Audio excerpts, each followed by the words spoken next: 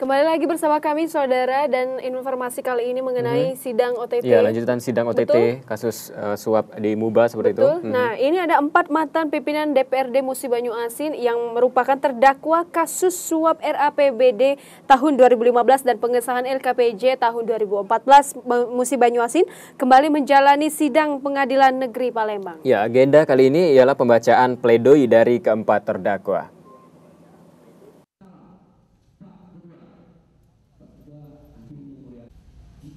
Empat mantan pimpinan DPRD Muba yang terlibat kasus suap Muba meminta keringanan hukuman dengan membacakan nota pembelaan atau pledoi pada sidang lanjutan di Pengadilan Negeri Palembang pada Senin pagi.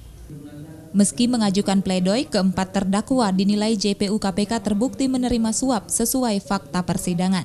Namun JPU KPK menuntut terdakwa dengan hukuman yang berbeda-beda.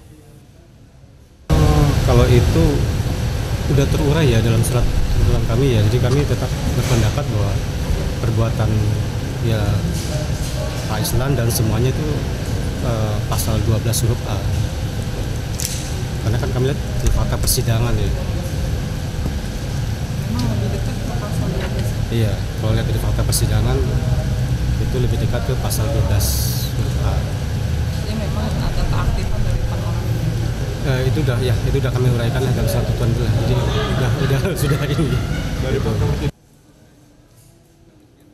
Sidang dengan agenda pembacaan vonis hukuman terhadap empat terdakwa mantan pimpinan DPRD Muba ini baru akan dibacakan pada 10 Mei mendatang di Pengadilan Negeri Palembang.